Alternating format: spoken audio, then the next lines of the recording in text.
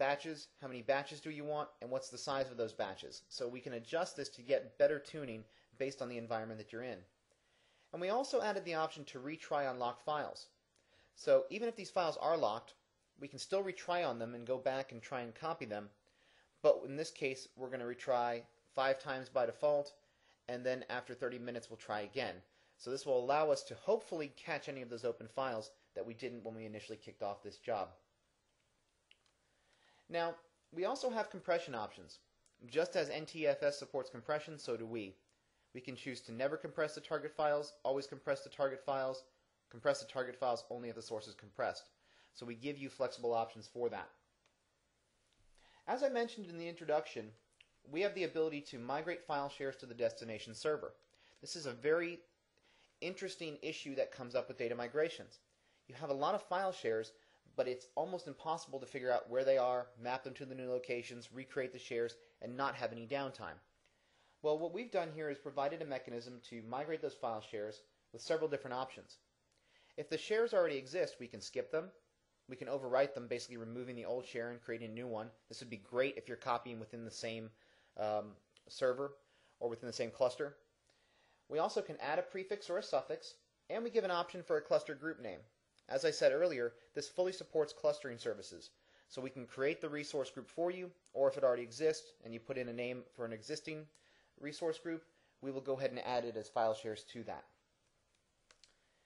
Then one of the most interesting features of Secure Copy is the ability to migrate local groups. Migrating local groups allows us to migrate local groups and users over that typically would have access to the data. So if any of us followed the Microsoft prescribed AGLP method, taking accounts and putting them within global groups, global groups within local groups, local groups having permissions, this becomes a big problem because there's no access to that local SAM database. So what we can do here is migrate those local groups and users. If we have local groups, we can set a password for them, uh, for those local users. And also, when our local group destination is specified, we can copy to the target server.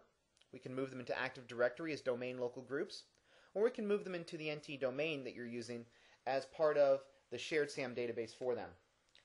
We can choose to always perform the action of adding a prefix or a suffix. So if we wanted to know these are migrated groups, we could change their naming convention to indicate as such. And then we have options of what to do if the local group or username already exists.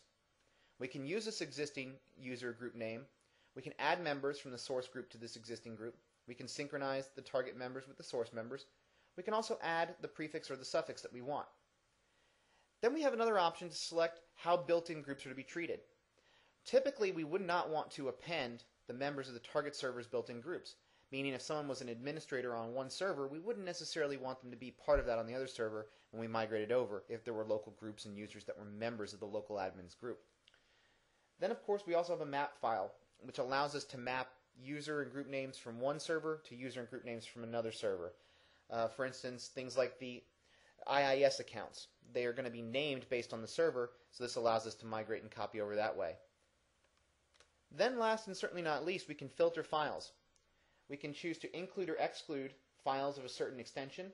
We can exclude folders of a certain name. For instance, temp temporary files or temporary internet files or for our files here for filtering them, removing temporary files or removing uh, Windows Media files or MP3s that might be resident on your file servers. Then we can choose to include files modified between dates. So this can be used also exclusionarily.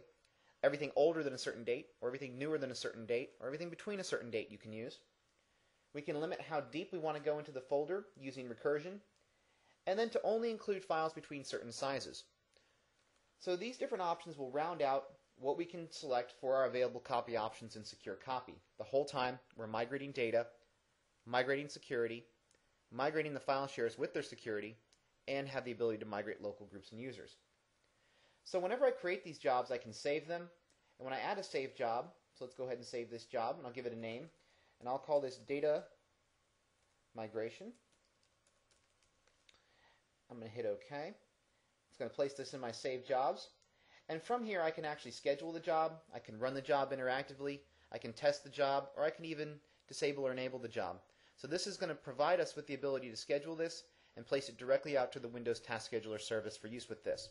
So you can actually run these jobs after hours when no one's around. So Secure Copy is going to be a very viable solution for migrating all of your data.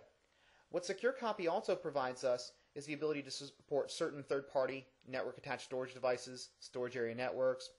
Also provides us with the ability to get data off of legacy platforms. So let's say we want to move from Windows NT to Windows 2000 or Windows Server 2003, we can do so with this. Or even for consolidation between platforms or within the same platform. Secure Copy is going to be your single solution for migrating all of your data with the permissions intact and allowing you to simply do this after hours without impacting your users.